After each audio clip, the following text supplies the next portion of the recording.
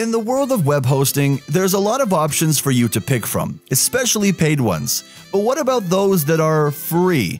It seems that with whatever service pops up, there's always going to be a free alternative, though they tend to be overlooked and might have limitations on things that hold people back from using them. So in today's video, we're going to take a look at three different web hosting platforms that are free and see what the catch is. So free hosting is the first option that we have. It's really straightforward since the onboarding process is hassle-free, requiring no credit card information for verification. It also has a swift account approval time of around 10 minutes, allowing you to quickly dive into website development. What they offer is a basic control panel, 10 gigabytes of storage, and unlimited bandwidth catering to the needs of the majority of websites. Not to mention that integration with WordPress is seamless and users can even connect a custom domain at no additional cost. However, a notable drawback is the requirement to own a legitimate domain name. Subdomains or free domains aren't supported.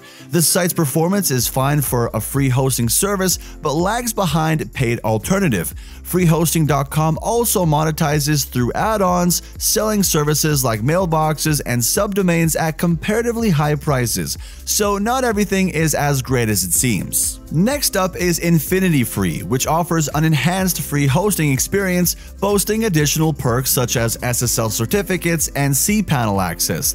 The absence of credit card requirements and verification simplifies the onboarding process.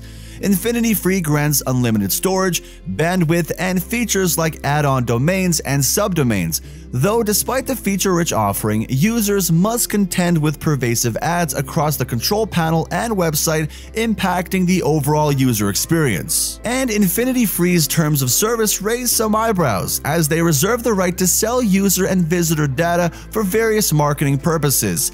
And while the hosting is free, users pay with the potential privacy compromises. And the third one, Triple O Web Host, is actually a part of a very well-known web hosting platform called Hostinger. So Triple O Web Host provides free hosting, but with a unique twist. Because interestingly, it allows you to show adult content. But um, as great as that might be for some, everyone faces a stringent 300 megabyte storage limitation. I mean, their automated tools ease the process of setting up a website, but the storage limitation can be a significant drawback for anyone with larger content needs.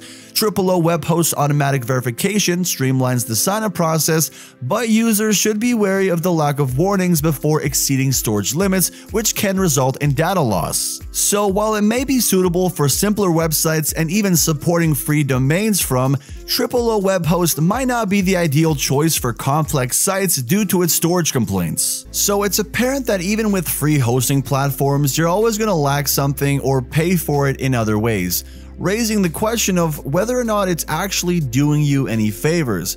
Because if you consider Hostinger, for example, they offer feature-filled plans that include things such as free domains, SSL certificates, WordPress integration, and 100 gigabytes of storage for just $2 with their premium web hosting plan. Their hPanel is also a modern version of the cPanel that is faster and optimized for Hostinger to make accessing different parts of the website a real breeze, not to mention their AI website builder alongside WordPress integration.